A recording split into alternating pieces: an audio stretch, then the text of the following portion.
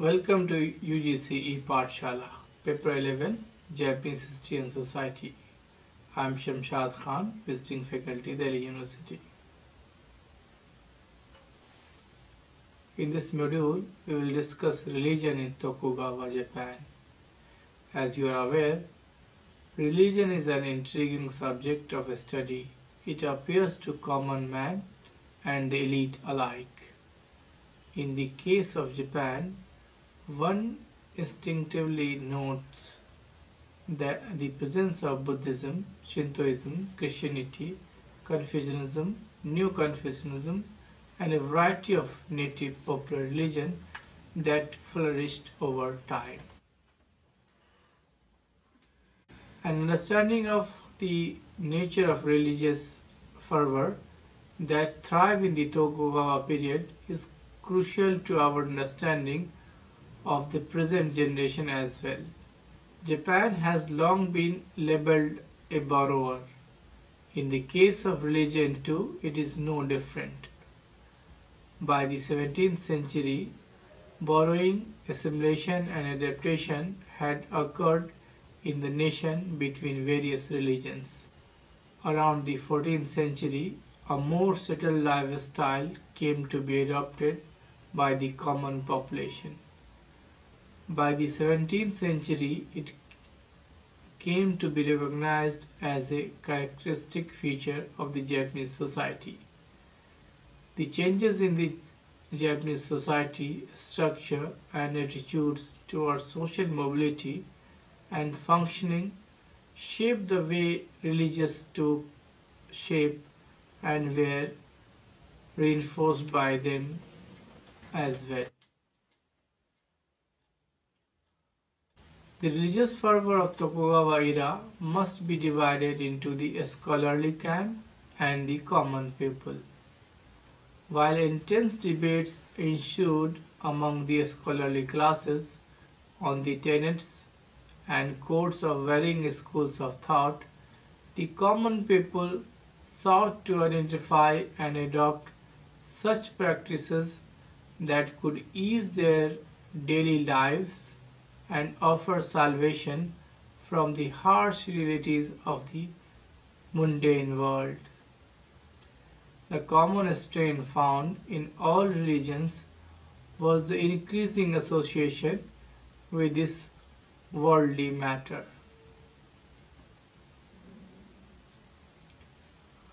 Even the metaphysical came to acquire a practical element that was to facilitate the daily lives of the masses.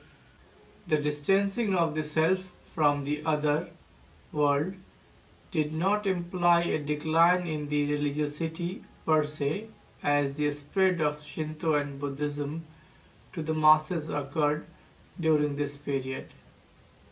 Many schools of thought emerged with the rise of New Confucianism in contention with the stronghold of the Buddhist monasteries. Now let's focus New Confucianism and Buddhism in Japan. The early 17th century Japan is characterized by a denial of the fundamental compatibility of Confucianism and Buddhism, which until then had been commonly accepted.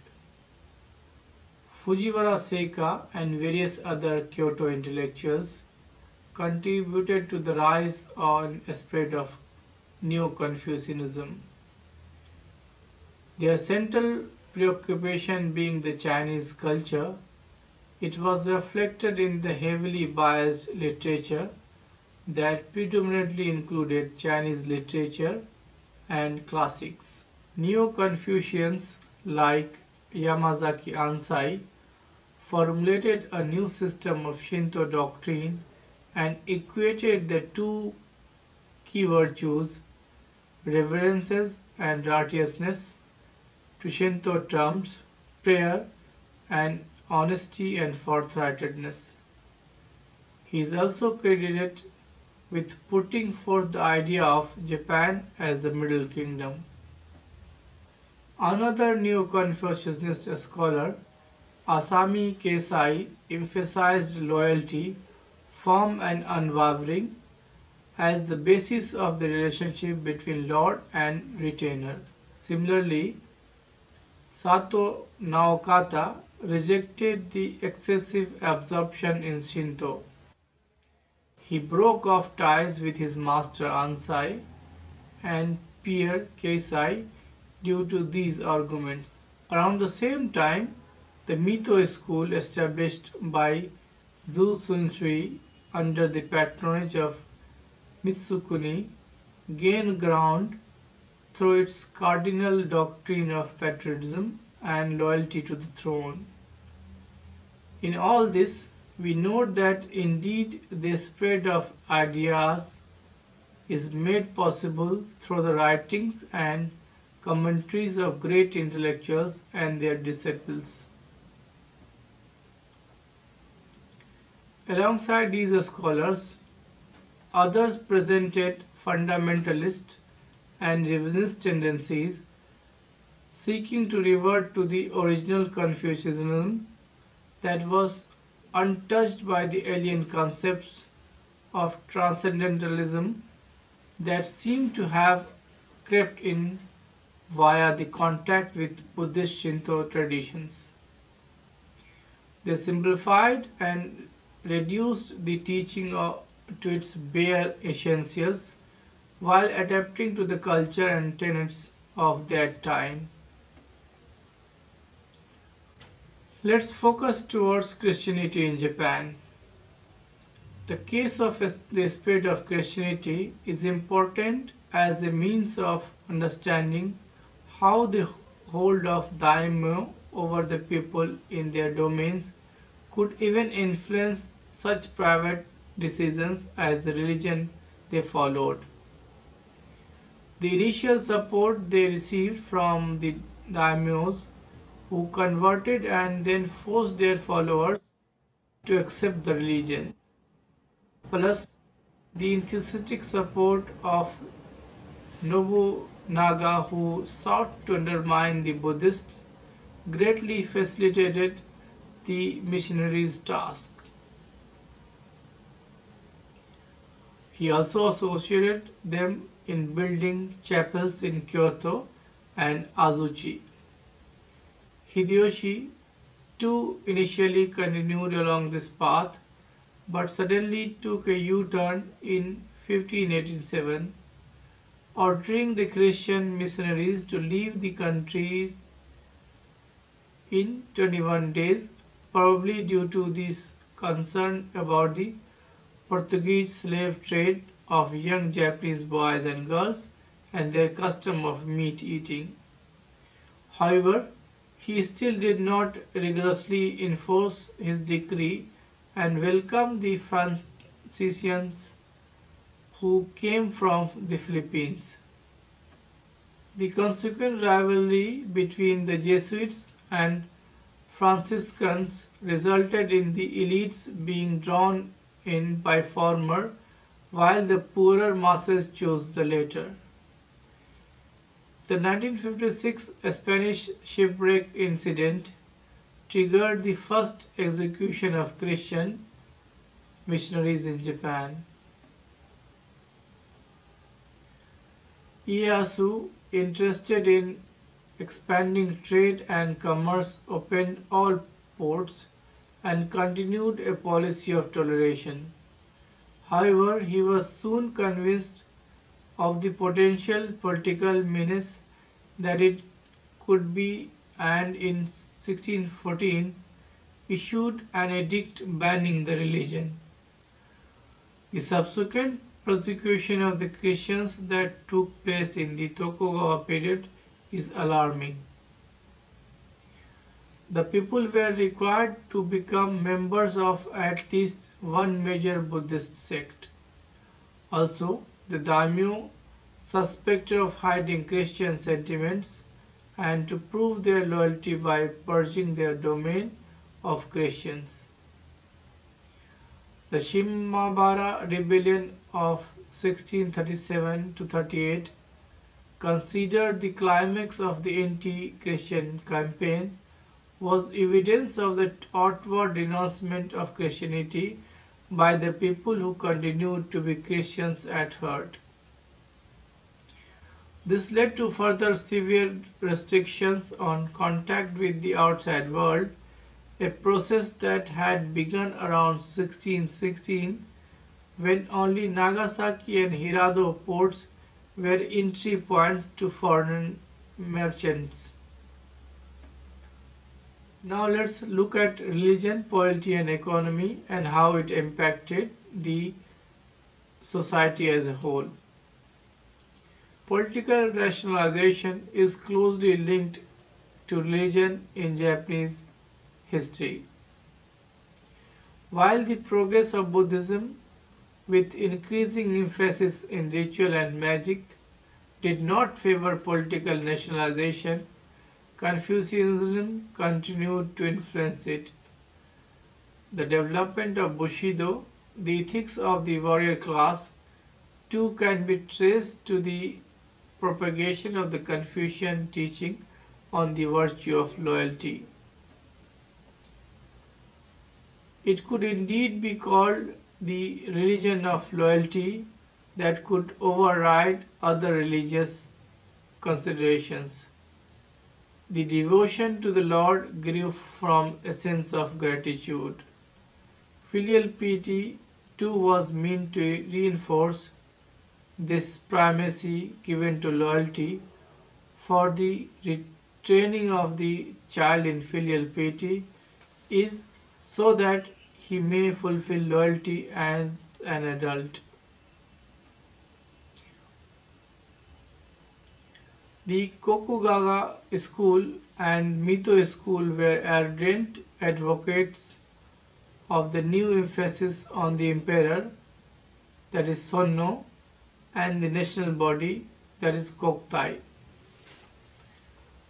For the former, the starting point was the revival of interest in history, literature and religion in the 17th century. The scholarly work of Keichu and Kada Azumamaro laid the groundwork for further study and was an important step aimed at the revival, revival of ancient Japanese culture and institutions. It espoused an extreme rejection of China, Buddhism and Confucianism and turned to Shinto, the native religion, thus summarily denying all metaphysics as foreign importations. Revelation, not reason, who enable one of one to understand this world scene as millennial religious movement. Its religious goal was the restoration of the emperor to actual sovereignty and purging of Japan of all corrupt influences. The Mito school was founded by Tokugawa Mitsukuni, under whose guidance work on Dai Nihonshi was started. It clearly proved the previous existence of proper rule by the emperor and thus undermined the legitimacy of the shogunate. It, however, did not completely reject China for even this loyalist and nationalist work was written in Chinese, unlike the Kokugaku who wrote in pure Japanese.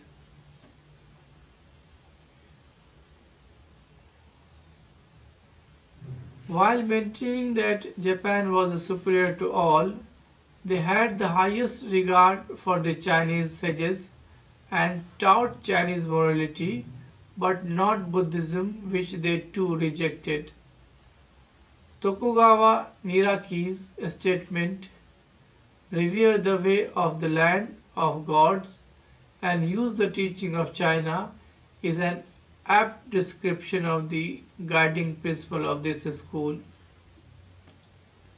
The link between polity and economy is noted in Confucian theory of the state which establishes the aim of economy policy and achieving political stability. Nonetheless, moral exhortation remained an important part of government policy and reform. The use of Confucian concept by the Bakufu to justify their rule in terms of heaven-earth ruler-subject relationship, the Chu Hsi philosophy, which eventually became the official philosophy of the regime, spoke of knowing one's proper place in society.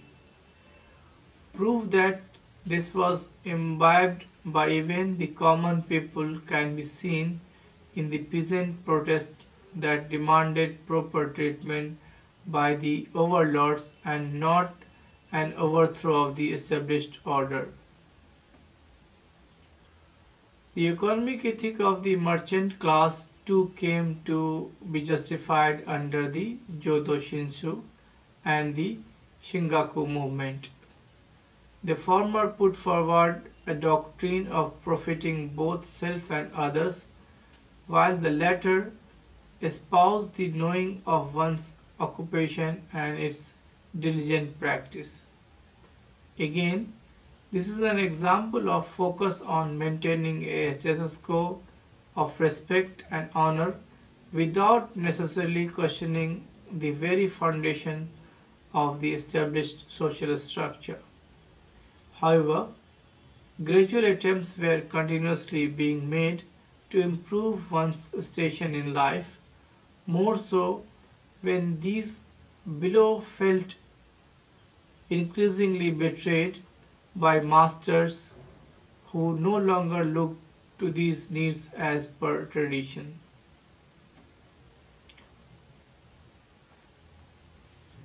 Now let's discuss about the religion in rural areas. The rural population had a strong belief in the Buddhas and the powers of God. Rituals, prayer and ceremonies were held to enlist their aid and festivals were meant as a display of the people's gratitude.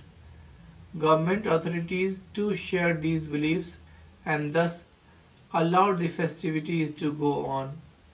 However, if the religious fervor crossed, it could be banned as it is increasingly became a threat to the calm and peace of the, the rural society.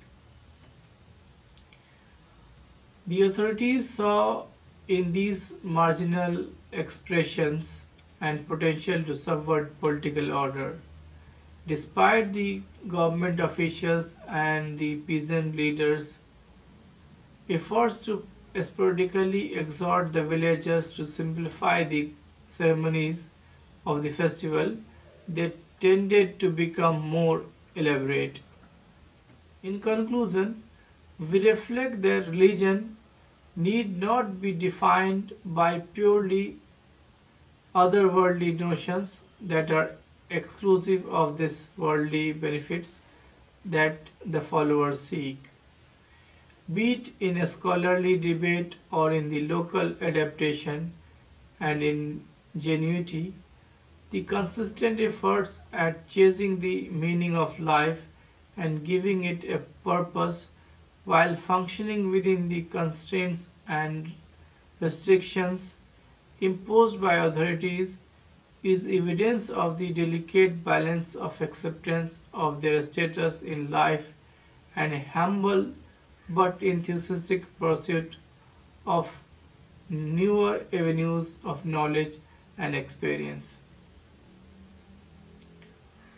The rise of New Confucianism and Buddhism in Japan was not simply a spillover effect from China. Just as in the country of origin, the philosophy underwent changes and displayed a rich intellectual variety.